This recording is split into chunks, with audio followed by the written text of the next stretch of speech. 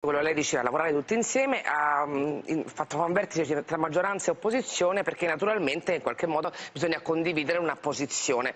Perché lei non chiede di partecipare? Non sarebbe importante esserci stasera e dire la sua? No, no, ma noi ci siamo, come Italia Viva ci saranno, è giusto Però che ci sia questo... Però lei è, no, il no, leader vero guardi, di Italia Viva, non è che ci mi, mi, si mi può tanto permetta, girare attorno. eh, questo tavolo che ha convocato Conte, che è stata un'ottima idea, è una cosa che abbiamo fatto anche in passato, chiamando i capigruppo della Camera e del Senato di tutti i partiti, maggioranza e opposizione, quindi benissimo che ci sia questo tavolo. La cosa importante è che si vada con un'idea chiara. La mia idea chiara è occhio, l'Italia non può girarsi dall'altra parte. Uno dice no, ma pensiamo ai fatti nostri. Chi vi dice così vi frega.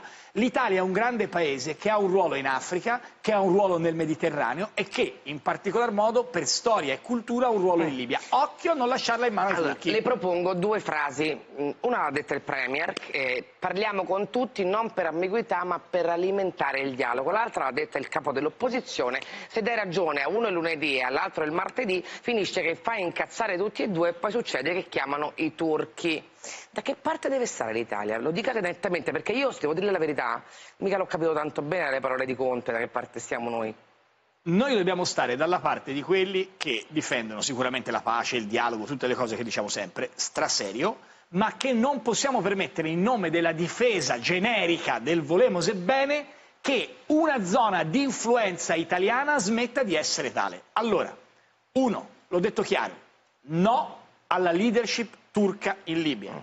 Due, l'Europa deve battere un colpo, svegliarsi un po'. Ora qui la discussione è mattina, non ha senso farla così, però è un grande tema perché c'è tutto il tema del petrolio, delle, delle, voi dite ah ma il petrolio non è importante, invece l'autosufficienza energetica no? cambia le strategie Senta, politiche, ehm, Insomma, è un tema molto complicato, la linea bisogna, è no In Libia bisogna stare con Haftar o con al-Sarraj?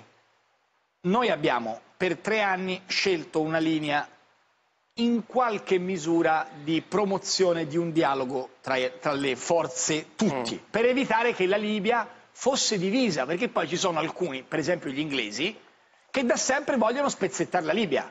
Un pezzo lo prendi te, un pezzo lo prendono gli altri e così facendo l'Italia è fuori.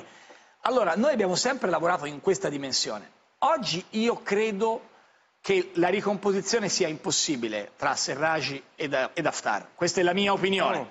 Però io non voglio fare il maestrino che spiega cosa si deve fare e come si deve fare. Dico una cosa semplice. No all'influenza turca in Libia. Okay. E quindi Italia, batti un colpo, Europa, facci vedere se ci sei.